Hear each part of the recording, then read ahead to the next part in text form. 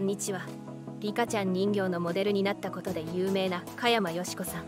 子役として活躍していた時期もあり多くの映画やテレビドラマに出演していました。秋元治さんの代表作こちら葛飾区亀有公園前派出所の主人公である両津勘吉が理想の女性として加山よし子さんの名前を挙げていました。そこで今回は加山よし子さんの現在の様子や女優としての活躍結婚子供について紹介していきます。加山よし子さんは1944年1月1日に東京都練馬区に生まれました。2023年現在で79歳になります。父親は吉本興業の文芸部長だったそうです。1955年から劇団コマ撮りに在籍しており子役として活躍していました。東映民芸の教育映画である NHK 風の中の子供たちなどにも出演していました。1961年には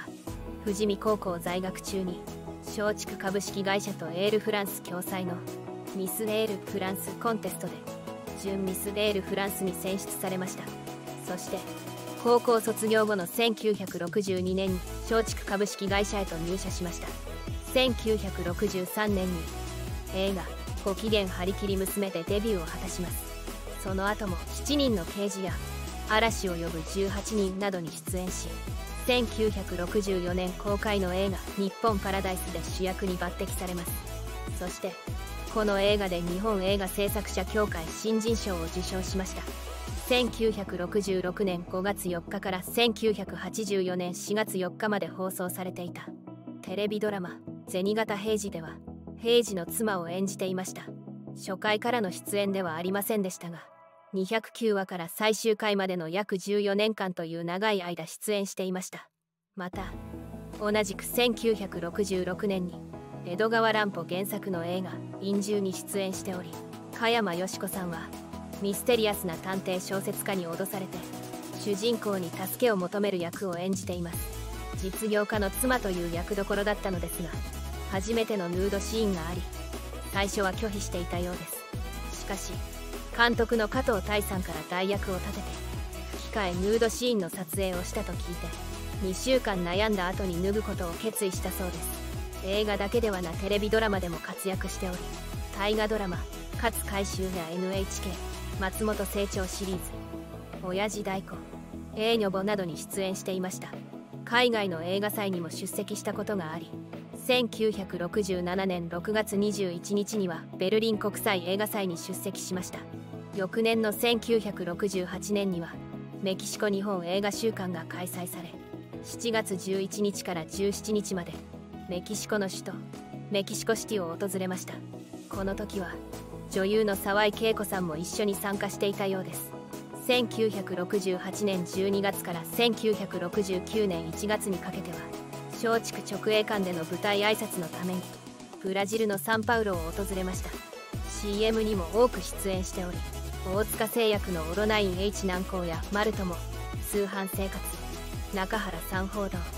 1964年から1965年には東京ガスの CM にも出演していました。昭和の時代を駆け抜け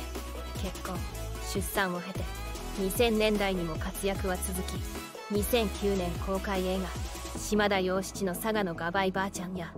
2015年公開映画「ソマン国境15歳の夏」に出演していますがソマン国境15歳の夏以降は映画には出演していません。冒頭でも紹介しましたが加山よし子さんは1967年発売のリカちゃん人形のモデルとなった人なのです。リカちゃん人形の名前を考える時に名前の響きは加山雄三さん。漢字は加山よし子さんを参考にしたようです。その結果リカちゃん人形に加山リカという名前がついたのです。今や世界的に人気のあるリカちゃん人形ですがそのモデルに抜擢されたのですから加山よし子さんの当時の人気ぶりがうかがえます。私生活では1973年に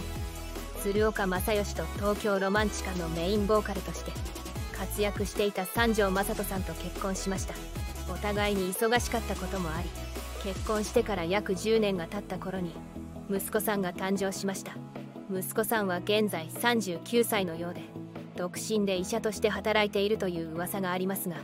加山よし子さんが以前テレビ出演した際に息子は会社員と語っていたのではっきりとした真相は分かりません。2人の出会いは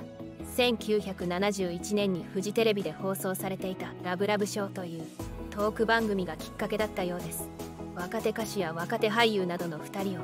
ゲストとして招くトーク番組でしたがお見合い的な要素もあり実際に結婚や交際に発展したカップルが多くいたのです。三浦友和さん山口百恵さん夫妻もこの番組をきっかけに結婚したカップルでした。多くの芸能人カップルを生んだこの番組は最高視聴率24%を記録しており当時人気者だった加山よし子さんと三条雅人さんの結婚にも世間はとても驚いたことでしょう。夫の三条雅人さんはとても勇敢な男性であり1999年1月に東京都世田谷区の駐車場で2人組の強盗に襲われたのですが頭部に怪我を負いながらも奪われたものを取り返したそうです。強盗に立ち向かうなんてなかなかできることではありません。2001年には「東京めぐり愛」という曲でデュエットしたこともあり2人の仲の良さがうかがえます。この曲は1985年発売の三条雅人演歌の旅路第2集に収録されています。この「東京めぐり愛」という曲は1984年に発売された。石川さゆりさんと琴風豪輝さんによるデュエット曲で加山よし子さんと三条雅人さんが夫婦でカバーして収録したのです。三条雅人さんは2017年10月5日にマントル細胞リンパ腫を患い亡くなりましたが闘病生活を送りながら最後まで歌手活動を続けていました。加山よし子さんの看病があったからこそ歌手活動を続けることができたのでしょう。その後再婚の話はないので加山よし子さんはお一人で過ごしているようです。ドジな一面もあり自宅で怪我をすることが多いと語り60歳の時には自宅の階段から落ちて骨折し入院までしたそうですが76歳の時にも同じ階段で転倒し額に大きなコブを作ったこともあるそうです。後に出演したテレビ番組で夫の三条雅人さんの月命日でお酒を飲みすぎて転んでしまったと語っていたようです。2019年にテレビ東京で放送された。さすらい所長風間翔平14スペシャル金沢輪島緊迫殺人事件に出演して以来積極的な芸能活動は行っていないようです。加山よし子さんは2016年のインタビューで今まで仕事をやりすぎたんです。プライベートな時間が全く持てず子供が生まれてもそばにいてあげられなかった。だから死ぬまでカメラの前や舞台の上に立つというよりももっと力を抜いて